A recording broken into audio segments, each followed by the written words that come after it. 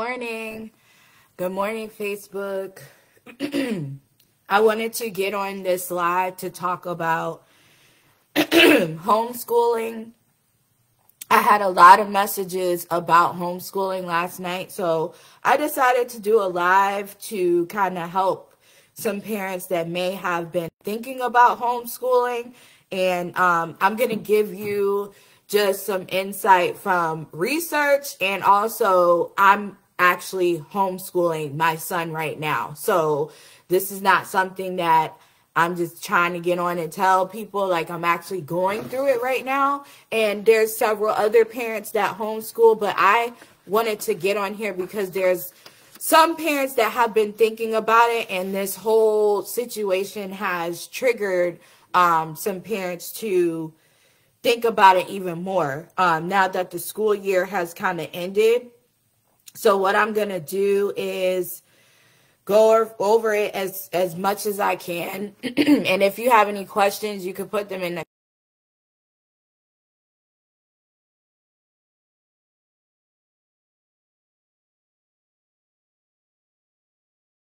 is make sure that you are wanting to go in this direction. This is for homeschool parents if they're thinking about homeschooling. This is not for people that are trying to debate that public school is better. I had a lot a, a comment just a couple mo- moments ago where someone was like, you know, that's not homeschool teachers should be um they should have degrees. This is not a debate. This is for parents that are looking for insight on homeschooling. So I want to get that out the way. Um, but be sure about your decision because there are things that you have to do um, in order to take your children out of school. Um, there's a lot of paperwork that entails um, before you properly start them off. So, what you want to do first um, in your state, you want to make sure you go to the the school website go to the school website, um, the district's website, and you type in homeschool. Now, it should give you like some information on what that entails in your specific school district because homeschooling is not across the board. It depends on what state you live in, and it also depends on what district you're in. They have different protocols, different things. So, um, in my particular community, um, I have to, I had to do a letter of intent. What that is, is stating that you are making the decision to take your child either out of school or you're not starting them in public school. In my case, I was writing it to say I was not starting my son in the school um, system. So what you want to do look up online a structure like you don't have to have it really long Mine was like a couple lines and it just got straight to the point and it was a letter of intent. So that is notifying your school district that you are homeschooling. Now, if you're taking your children out, you want to make sure that you um, are prepared because my situation is different because I never put my son in school in, public school at all. So I already was doing the prepping. I was already going over curriculums. I was already doing all those things. What you don't want to do as a parent is take your child out and then you don't know what they're going to be learning. So in each state, it doesn't matter what state, the curriculums have to be accredited by the state. Now that's a, an across the board you know, thing for homeschooling. Your state has to approve um, what you are teaching your child. You're not, it's get rid of the stigma of parents is just doing anything and you know the kids are just you know watching TV or whatever. No you actually have to have a certain amount of hours that they are learning and you also have to be in communication with that district about what curriculum they are learning from. Now I have to send a quarterly um, report but let me slow down. So curriculum how do you choose your curriculum? Well, curriculum is based upon what grade your child in, is in and also the unique thing about homeschooling is that you can pick according to what your um, child likes to learn so for instance my child he likes to learn um, he's a math and science person. Um, he likes things like weather. He likes um, a lot of science stuff. Um, so what we have done, I, um, my mom is a retired teacher. If you know someone as a parent, if you know someone that is either in your family that's a teacher or has been a teacher for that specific grade, contact them. Because the biggest, um, you know, thing or, or, in conversations I've seen that parents worry about is that they are worried about buying the curriculum.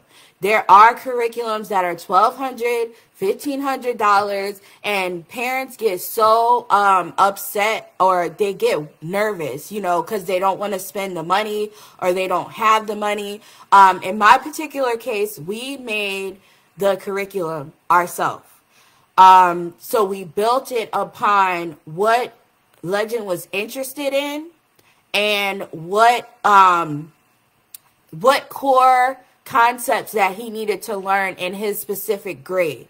So he is literally learning everything that he needs, but it's structured to what he likes, what he gravitates towards. So right now he's gravitating towards science a lot, um, and math a lot. So we had to structure his curriculum to make it so that he doesn't feel like he's learning everything else, but he's still learning. So for instance, the words that he, um, learn how to spell it all it's all weather related um it's all science related um he's into like animals. So it's those things we use um to propel him into the education that he needs. Homeschool kids are not at home on vacation. Um so as a parent um don't have this mindset of thinking that they're not going to be taught anything. They actually are. But again find someone you might have a friend or you might have a family member that um, is a teacher already in your specific area um, or even if they're not in your area still discuss it with them because um, i didn't pay for a curriculum. We just made it and then the state approved it um, the state approved our curriculum and i didn't spend any money but it is a lot of time that you have to put in once you, you know, start a curriculum from scratch. It's a lot of time. So prep beforehand if you've never homeschooled before because it's a lot of work that goes into the prepping. Once you have it prepped, that makes it so much smoother. Like it, it the transition is not that difficult because you have your curriculum prepped already. Um, you have what they're going to learn already. You have the guidelines of what the state is telling you that you need. Um, as far as support when you are homeschooling, there's tons of groups on Facebook that um, are in specific regions that you can look up and you can go in there and you can ask any question. Um, I'm in like three groups myself and um, there's also in your local area, there's also co-ops which is students getting together to do certain classes. There's, you don't have to always be at home by yourself.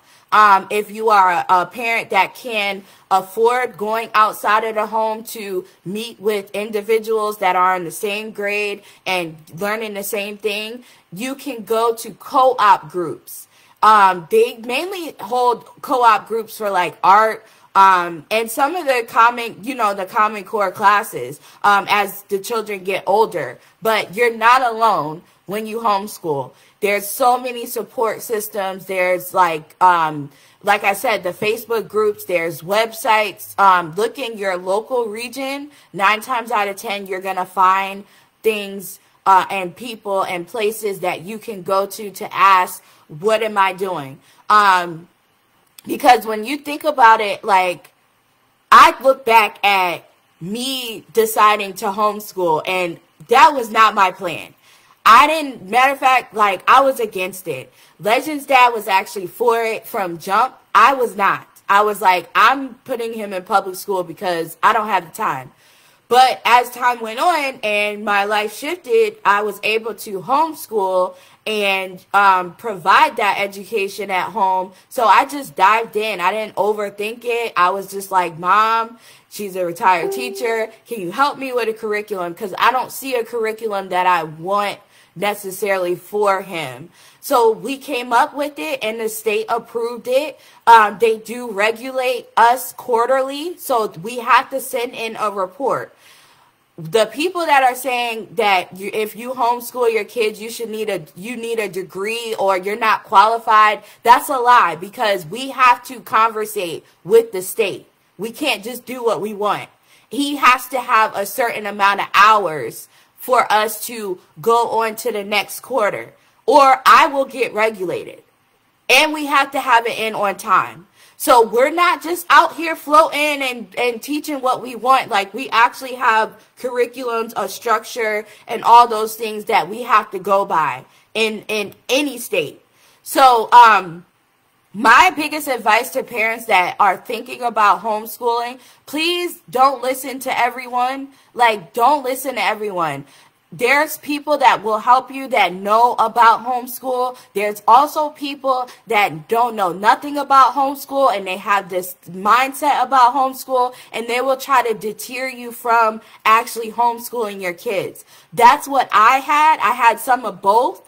And once I did the research myself, I recognize the prepping for homeschool is more important um, in the beginning part, and then that makes everything else flow. Because if you don't prep what your children is gonna, uh, they're gonna learn, you know how they're gonna um, have social aspect, how they're gonna do certain things.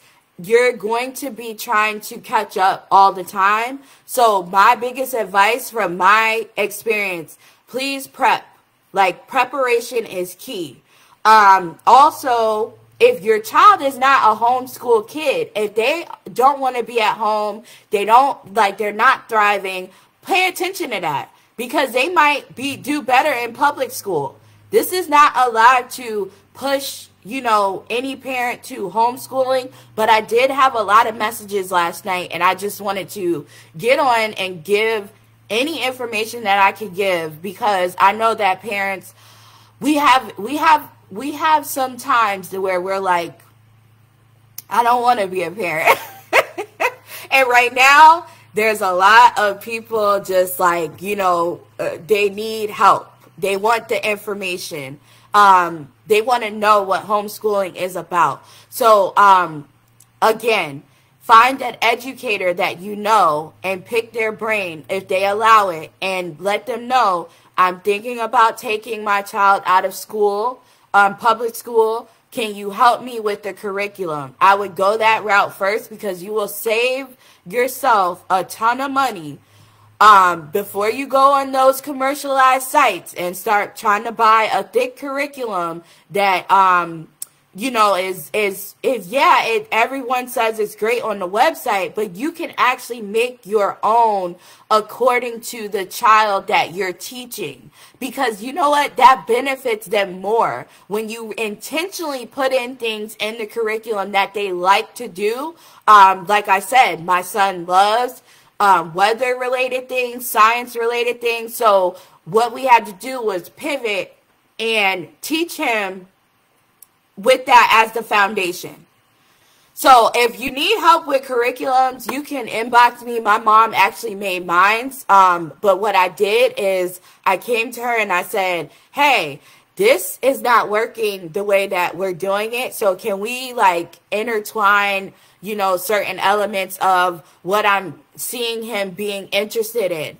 Um, and every child is different. So if you have questions, parents, please do not hesitate to ask. Um, you're thinking about it too, Tam. Yeah, Tammy, you can ask me any questions. I know a little bit about Virginia, um, just because I had some people that um, uh, that had kids before me that homeschooled.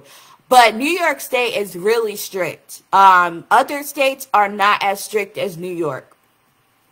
There's like certain states that are strict in the homeschooling industry where it's New York. I think um, California is one of them. Um, all the northern states are a little bit more strict than southern states, but the curriculum is going to be the most important part.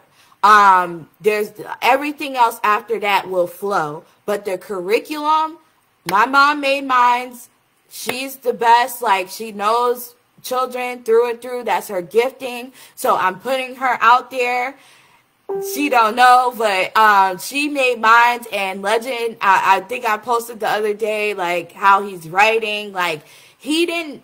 I mean, I'm not saying this because I'm his parent, but legend is literally like learning at Godspeed. Like because we changed the curriculum according to who he was and he's not um it's not to say that he wouldn't thrive in public school but as a parent when you do homeschool, there are ways to have the social aspect. You can take him into groups that are also homeschooling. Parents meet all the time.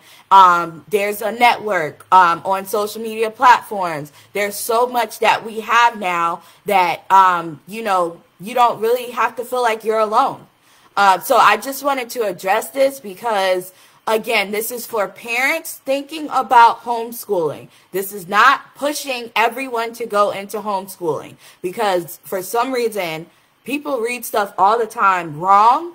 Um, but I am going to start speaking about it because uh, it's done me wonders, homeschooling legend, um, for now, and it might not be forever he might go to public school in third grade. I don't know. But until then, I know what has worked and I know um, to some extent of how important it is for them to have these core foundations before they're just released to the world. Because as a parent, homeschooling, I feel like I have a little bit more control in what my son partakes in. Like if he's sitting in a classroom, I can't necessarily um, control that environment to the point where, you know, he's public school. They they do a lot sometimes, and sometimes our kids don't articulate that when they get home. So as far as the classroom setting, I have more control over what's being poured into my child. And that's what I love about homeschooling. It's not for everyone. It's not for every child, but if you are thinking about it, at least try um, and see how it goes. And then if you want to put them back into school, the process is not that hard. You just send another letter and you say, we're putting them back into the school district. Um, but yeah, you want to have your letter of intent once you find um, the information on your school district site. You go to search you type in homeschool, they're probably going to pop up with a whole bunch of links, but you'll probably have to gather information. I would actually call the school directly and say what is in order for homeschool. Like I would call because they have people on site to talk about that. They're not going to they're not going to um it's not going to be a bad thing if you ask about homeschool. Just say, I need information on how homeschooling works in my district, and they will point you either to a website or someone will talk to you. Um, I've had a good experience with my district. And again, I, I'm always in constant communication with them. This is not something where me and Legend are just out here, uh, just you know, blowing by the wind. No, he's in, he's going to second grade and he has to have all these requirements um, and hours in order for him to pass on to another grade. So, um, parents, if you have any questions, grandparents, if you have any questions, caretakers, if you have any questions, my inbox is always open. Um, but again, this is for people thinking about homeschooling. This is not to push an agenda that everyone should homeschool. I'm not one of those people. Unfortunately, people take things the way that they would like to, but I'm telling you, it it's done wonders for me. It's done wonders for me, and um, we still want to lift up the public school setting. Um, being in public school is not a bad thing. Um, so we don't want to condemn, you know, the parents that put their kids in public school. That's what works for them. Um, I don't think public school is a bad thing, but uh, if you are thinking about homeschooling, make sure that you prepare properly. All right, so I will be back on here later and I will talk to you soon. Talk to you later. Bye.